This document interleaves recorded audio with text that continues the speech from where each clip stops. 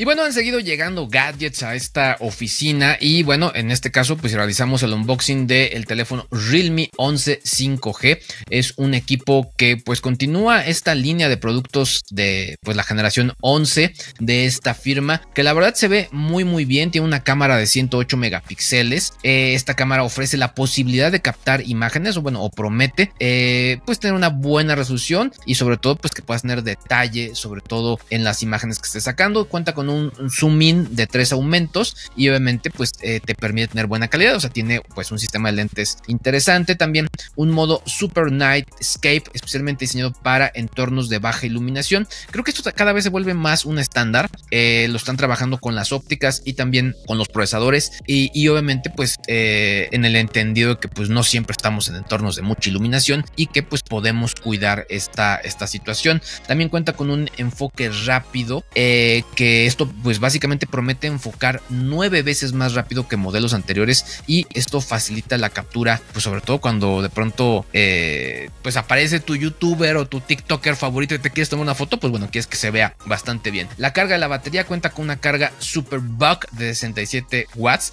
Siempre le ponen ya nombres a, bueno, y no me refiero a Realme, todos le ponen nombres a la carga rápida. Es una carga rápida, 67 watts. Puedes cargar tu teléfono al 50% en solo 17 minutos, lo que reduce significativamente el tiempo de espera. Su batería es de 5000 miliamperes y esto promete durar pues varios días dependiendo del uso. Eh, pues esto siempre es una promesa, depende mucho cómo lo usemos. A mí honestamente siempre me, dura poco y si ya me dura un día completo, pues bueno, yo estoy feliz. 38 niveles de protección, cuenta múltiples niveles de seguridad. Eh, están preocupados la gente de, Realme. En varias sesiones nos han contado que necesitan que las baterías sean seguras. Ellos eh, pugnan por baterías seguras, sobre todo porque sí ha habido casos donde las baterías explotan y esto obviamente pues pone en riesgo a la seguridad de los usuarios. La pantalla muy bien, 120 Hz, muy muy bien, lo que te va a permitir pues eh, videojugar, quizá no a nivel profesional, pero sí cercano a él, ver eh,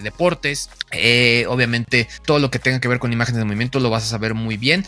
una RAM dinámica de 16 GB y esto obviamente permite una multitarea muy muy eficiente. El diseño muy bonito, ¿eh? Ustedes eh, los invito si nos están escuchando en el podcast, vayan a ya sea eh, Instagram, donde estaremos colgando reels, arroba LuisGIG, y también vayan a, YouTube, donde estará este, este mismo comentario eh, completo, y obviamente podrán ver el diseño, que pues la verdad es que el diseño externo pues se ve muy bonito, de hecho pues se habla que pues básicamente parece un diseño artesanal que hace que el teléfono se vea muy premium, y pues la verdad es que esto como usuario lo agradeces porque quieres también tener un teléfono que se vea bien. Eh, punto importante es que, bueno, ya está disponible eh, en, en, México. A partir del pasado 25 de octubre ya está disponible y estará en un precio de 8.999 pesos con la gente de Telcel. Eh, todo esto, toda esta información, pues nos fue proporcionada por la marca. y bueno, pues queremos mandarle un saludo, obviamente, a Jesús Mejía, que es el, el PR manager de Realme. Y obviamente también si tienes alguna duda, algún comentario, déjala aquí mismo, escríbela y bueno, si no, no tenemos eh, la información, pues le pediré al buen Jesús Mejía que nos pueda apoyar con todo esto.